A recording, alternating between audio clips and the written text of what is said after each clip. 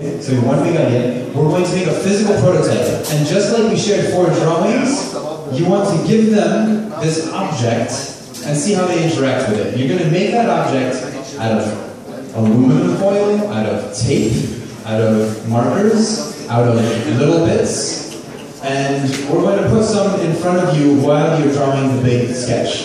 So this is called a rough draft. Just like when you're sketching a portrait, you draw big circles, you make rough lines, and then you refine it. This is a rough draft of a physical product or experience that you want someone to tangibly experience so that you can get